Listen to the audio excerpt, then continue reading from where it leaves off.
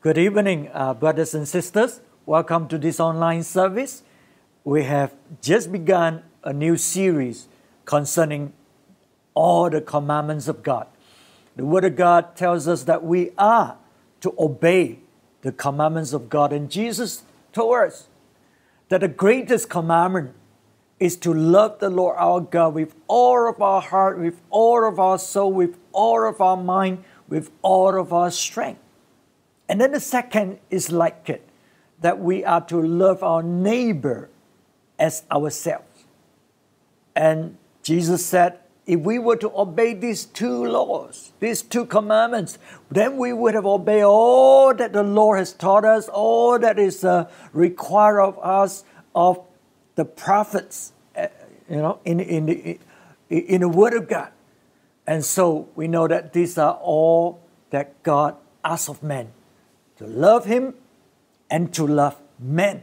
And this is how we should live our life on this earth. And uh, just before we move on to learn how are we to love our neighbor, because it's not just knowing that we are to obey, but uh, we are we, we need to know how we are to do it. And uh, we, we just want to focus, first of all, on the greatest commandment to love God with all of our heart, with all of our soul, all of our mind, all of our strength. And uh, a, a rich young man came to Jesus and asked Jesus, you know, what, what must he do to get eternal life? And Jesus answered in, in Matthew 19, verse 17, he said, if you want to enter life, keep the commandments. Keep the commandments. And then we jump to verse 23.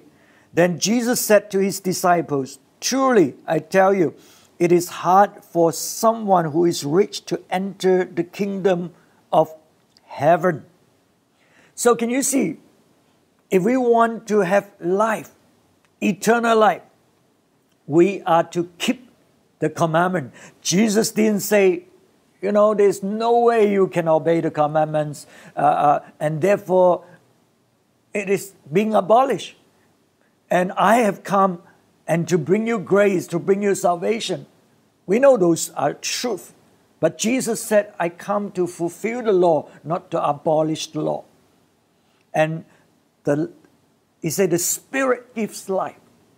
And in these two greatest commandments, it's the spirit of the law. It's how we are to obey the law. It's how we are to fulfill uh, the Word of God.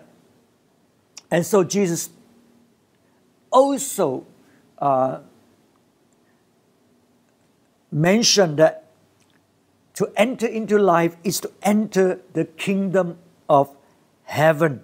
So he said, You do this, then you will live, and we are to obey them.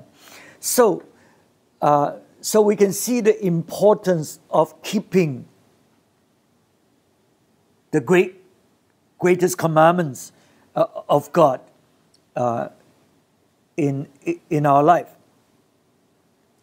And in order for us to keep the commandments of God, we need to know what God wants us to do.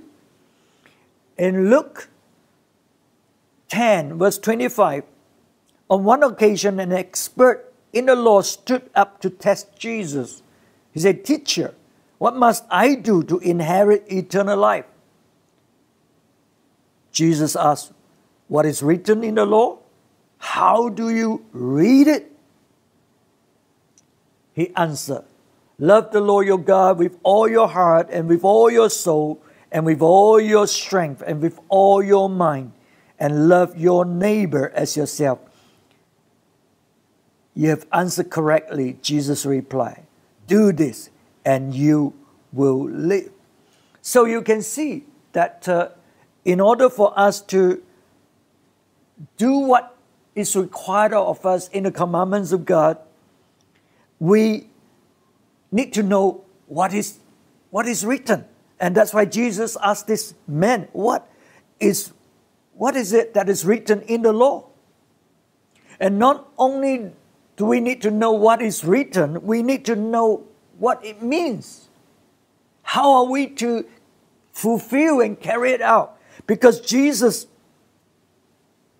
uh, asked him the, the, the, the next part of the question. He said, How do you read it? It's one thing to have the law, it's one thing to have the Bible, it's one thing to read it. You know, a lot of people they read the Bible. Well, some don't read. Others read, but they do not know what it means. They do not know what is required, how to apply the law or the Word of God. That's why Jesus asked him, How do you read it? A lot of people misinterpret what the Word of God is saying. So that's why we have this struggle. Do you still talk about the law? Aren't we in the in the era of grace? And now the law is is, is done with. And you see, there are the eternal laws of God that will never be abolished. Jesus said, I come to fulfill that law. And Jesus said, if you teach people to do, to not to obey, you are the most little in the kingdom of God.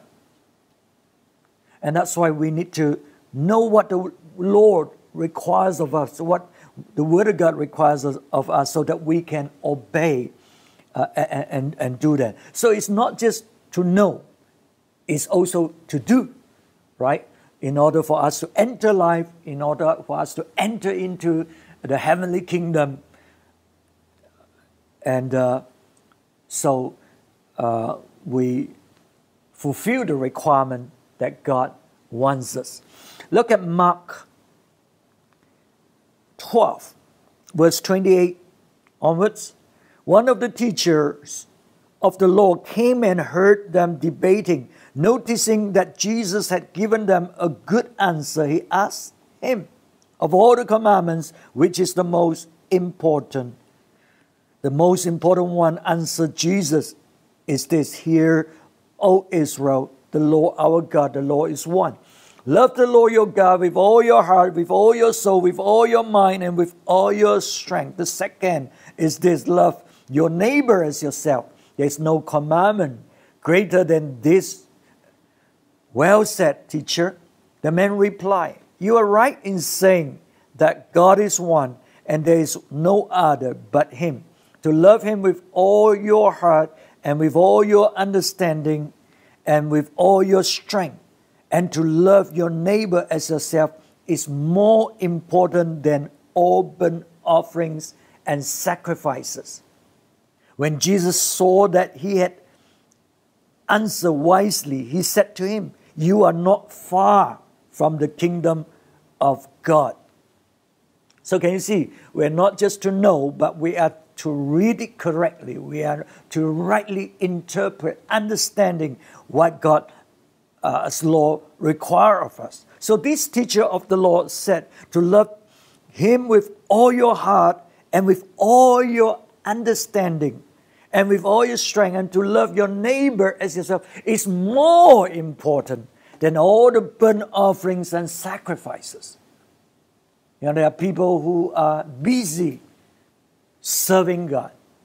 There are people who offer sacrifices because they think that's required of them. But, but the, the Pharisee, the teacher, uh, the teacher of the law told Jesus, he said, what's more important? You know, what we do has got to be uh, motivated by the love for God. It's not a ritual, it's not an outward act, but our inner motivation that causes us to do all these things is because we love the Lord our God with all of our heart. You know, you can offer sacrifices without loving God with all your heart. Isn't that so? We can serve God without loving God, just busy because it's required of us. But Jesus wants us to, to, to love Him and serve Him out of that love.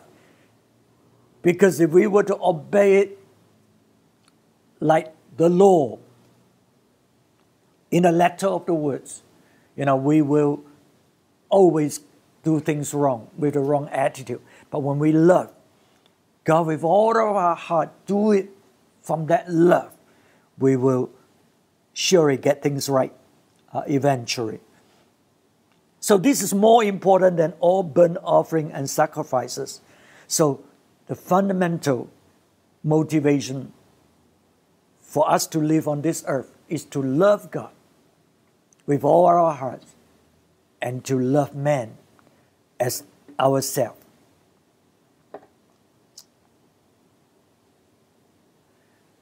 And if we do not serve God uh, or offer our sacrifices out of this love, in fact, we gain nothing.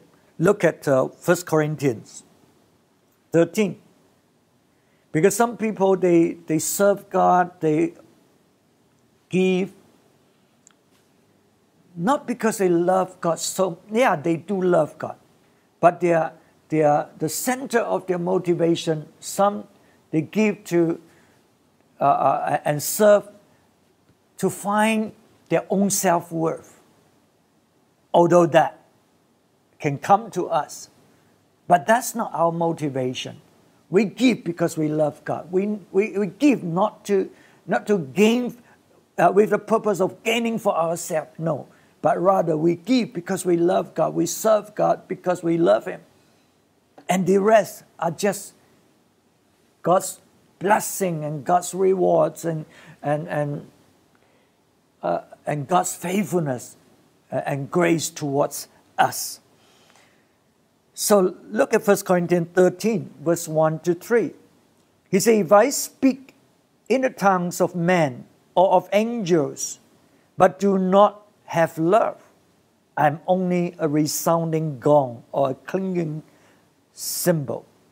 If I have the gift of prophecy and can fathom all mysteries and all knowledge, and if I have a faith that can move mountains, but do not have love, I am nothing. If I give all I possess to the poor and give over my body to hardship, that I may boast, but do not have love, I gain nothing. So, can you see? There are people who do things, who sacrifice, who serve. What's the purpose? So that they may find their worth, so that they may gain as a result of it. But, G, uh, but the Word of God is telling us in First Corinthians here if you do not do all these things out of this basic motivation of loving God with all your heart, you know, you say, You are nothing. I'm nothing. And then you say, I gain nothing. So you will gain nothing as far as God is concerned. That means, well, what you do may be good. Maybe other people may even benefit from what you do. Because when you give towards a good cause, you know, other people get benefited. But as far as God is concerned, when you give it not out of love for Him, you know, you, you gain nothing. You gain nothing. So God looks beyond our deeds, He looks into our heart. And, and, and, and it's so important that we obey these commands, that we love God with all of our heart because there's only one God. There's only one God. So it tells us that we are created for God. We are created to serve Him. And that's why we have to love Him with all of our heart, with all of our uh, soul, and all of our mind, and all of our strength. So, can you see the purpose why we are created? We're created for God, we're created to serve Him. And we're to do it with all of our heart all of our being, our emotion, our mind, our strength. I think it's good for us to really meditate on these commands and see how we are doing in obeying these commandments. You know, because I'm sure as Christian we do love God, we do serve God, we do, you know, try and know God. We, we do all these things. But what God requires of us is to do it with all of our heart, all of our emotion, our, our soul, all of our mind, all of our strength. And so we, we really need to, to meditate on it and see how shortcoming we are and, and what must we do so that we can fulfill these commandments and enter into his heavenly kingdom, his life, his eternal life. So we want to look into the Bible, into David. This man is our example of someone who loved God with all his heart and all his uh, soul and, and, and mind and, and, and strength. Acts 13, verse 22. Acts 13, uh, 22. After removing Saul, he made David their king. God testified concerning him I have found David, son of Jesse, a man after my own heart. He will do everything I want him to do. I think that summarizes a man who loved God with all his heart, soul, mind, strength. You know, God says it a man after my own heart. A man who is who try, who wants to seek after, who wants to know what I'm thinking. So that he can do, so that he can obey and follow what I want. And he will do everything I want him to do. So you see, David is a man who has given himself over totally to serve God's purpose in his life. And uh,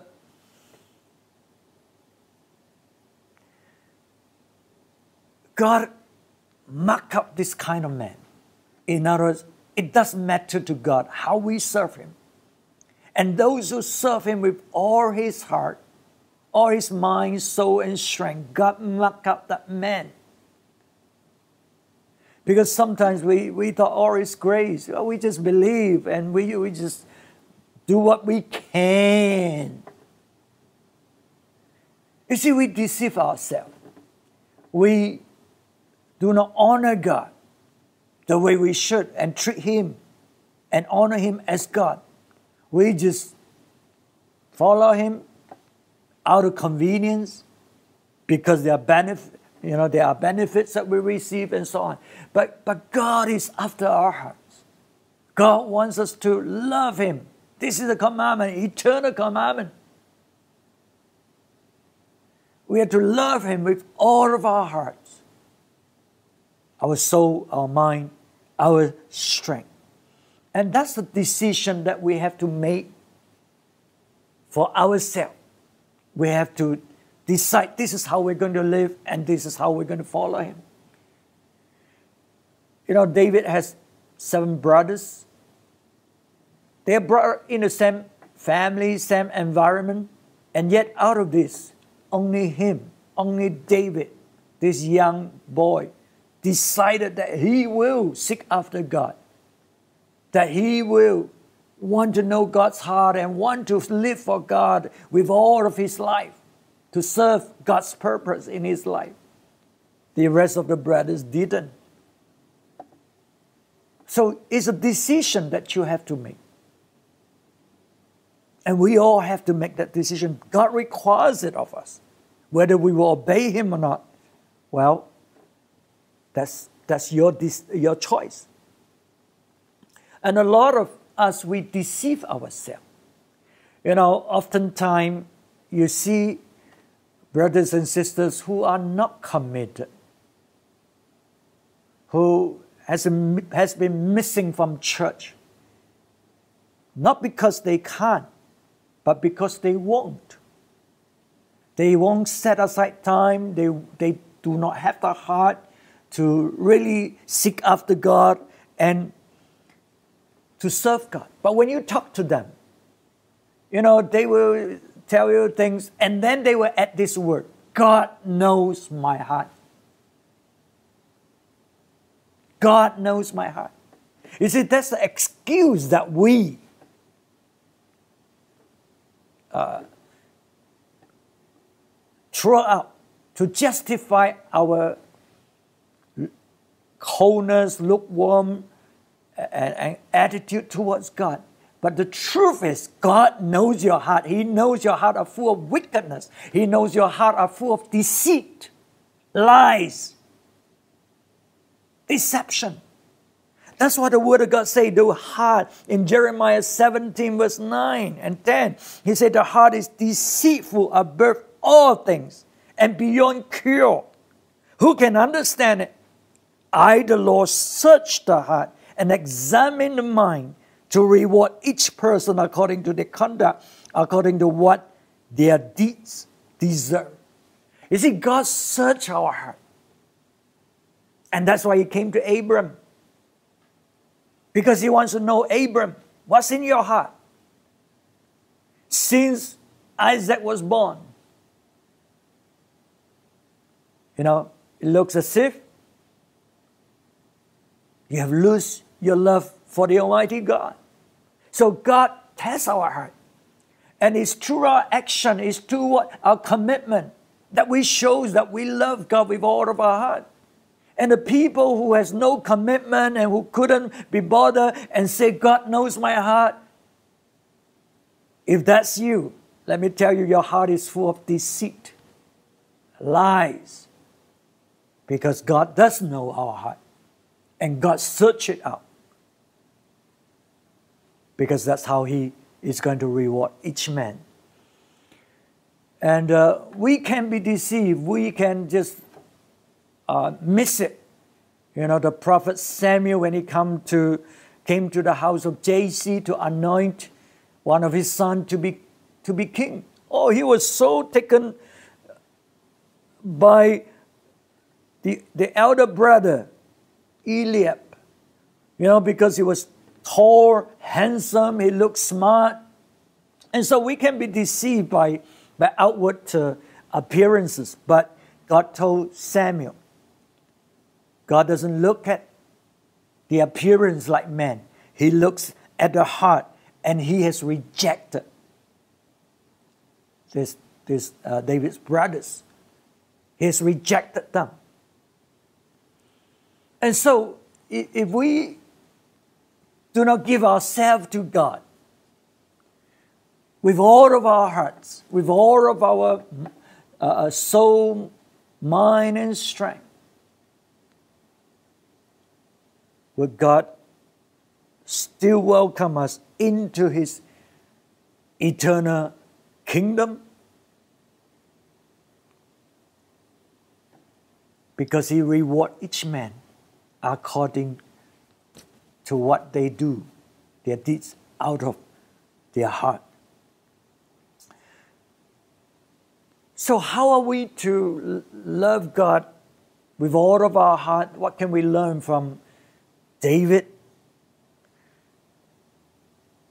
What did he do to, to, to have the heart of God, to love God with all his heart? You know, we are to seek after God's heart like David. And we know, reading the scriptures, that David, when he's in the field looking after the father's sheep, he will spend those time drawing near to God, worshiping God. And hearing what God is saying. You know, when we come before God and rest in God and draw near to Him and want to know His heart, He will speak to us. He will show us the things that we are to do. And I discover that also that when I come before him in the morning and just just wait on him he will drop certain things into my mind the things that or even reveal certain scripture verses to me, what it means, things that I would not have seen or would not be, uh, well, did not understand. He, he just opened my mind into those things. So when we seek God, when we draw near to God, He will speak to us. Look at our Lord Jesus in John 5, verse 19 and 20. Jesus gave them this answer very truly. I tell you, the Son can do nothing by himself. He can do only what he sees his Father doing. Because whatever the Father does, the Son also does. For the Father loves the Son and shows him all he does. Yes, and he will show him even greater works than this, so that you will be amazed. So, can you see when we draw near to him, when we seek after him, God loves us. God loves us for doing that, and He will show Himself to us. He will show us the works that we are to do, and greater works than this, so that people will be amazed. So, if we want to be extraordinary, that's what happened to David. Because he seeks after God, he knows God's heart when he encountered Goliath, this giant that everybody is running away. He was able to rise up to confront this giant because his heart is the same as God's heart. And God's army is being ridiculed, is being put to shame, intimidated, you know, so David rise up in the spirit of God. He rise up because they have the same heart, same mind, same spirit as the Almighty God. That's why he says he speak to Goliath, I come to you in the name of the army of, of, of Israel, the, the God of uh, the army of Israel. See, David rise up in the spirit of God because he has the mind and the heart of God in that situation. So God will show us when we come to him, he will show us what he wants of us, what he wants us to do, and we will do extraordinary things. Because there are things that we just cannot think and, and, and cannot believe that we can do them. But God will drop into our hearts so that we begin to see them and we begin to nurture them, we begin to rise up in faith and we begin to have the same spirit as God. And we are able to do great things for God because we seek after Him. That's what Jesus meant. When you obey these commandments, these great commandments,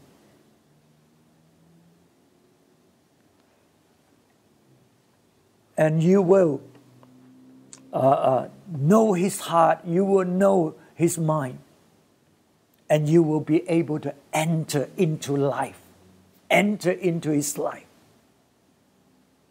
So, even on this earth, even here, God wants us to enter into his life so that we are not living just out of this human life, doing ordinary thing that is expected of us. But as we love God with all our heart, we will do extraordinary. That is way beyond you know people's expectations so that people will be amazed with what God has accomplished through us. And uh, when we have the heart of God, we begin to think of the kingdom rather than just ourselves. You see, the armies of God they just run away when Goliath appeared because they think about themselves, they think about self preservation. But whereas David was thinking about the kingdom of God, how dare these uncircumcised men were to ridicule the army of God, the army of Israel, right? And, and when we have the heart of God, we will think about the house of God. David, when he lived in his palace, oh, he enjoyed life. But then he never forget the ark of God is only dwelling in a tent.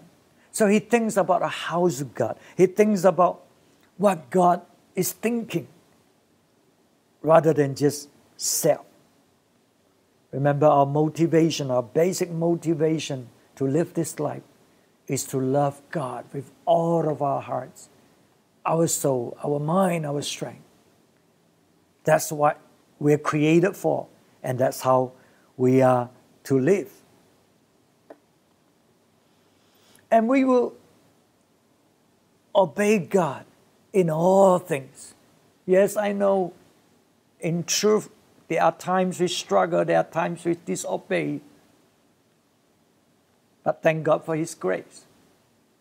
But for us who wants to live our life to love God with all of our hearts, we will keep pressing on. We will keep moving forward to do what God wants us to do. You know, David also failed in his life in certain areas, but he kept pressing on. He kept pressing on, and uh, and this is what God said of David in uh, Acts 13, verse 36. Now, when David had served God's purpose in his own generation, he fell asleep. He was buried with his ancestors, and his body decayed. So, can you see? David served God's purpose. He lived for God's purpose in his life. And he served God's purpose and he died. So this evening we, we are reminded once again of the greatest commandment that God wants us to obey, even in this age of grace and of God's mercy. This is an eternal commandment that will never change. Heaven and earth will to dis, uh, disappear, but this commandment has to be fulfilled.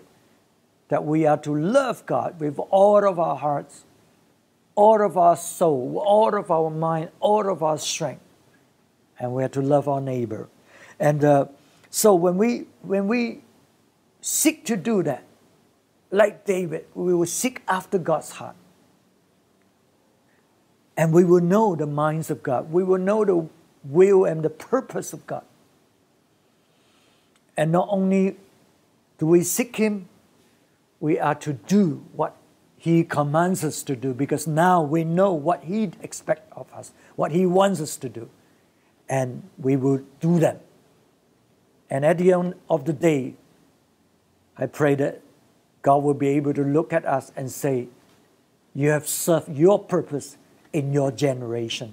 Now it's time for you to enter into the eternal glory. So let's remind ourselves of the great, greatest commandment and let's meditate as you come before God and see how, which area we have, we have uh, not been doing it so that we can rise up and seek after Him to fulfill this commandment that God has given to us, so that we can enter into His eternal kingdom. We can enter into His eternal life. We can enter into life. Shall we pray?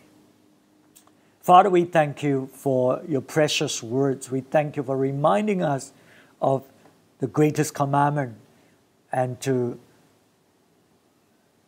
exhort us and to warn us and to, uh, to, to, to just prod us so that we may look at these commandments and look at ourselves. And we want to obey you. We want to love you with all of our hearts, all of our mind, all of our uh, soul and strength. Lord, we pray. Help us to be able to fulfill your word, O oh God. We thank you. We bless you in Jesus' name. Amen. Amen. God bless. We'll see you again.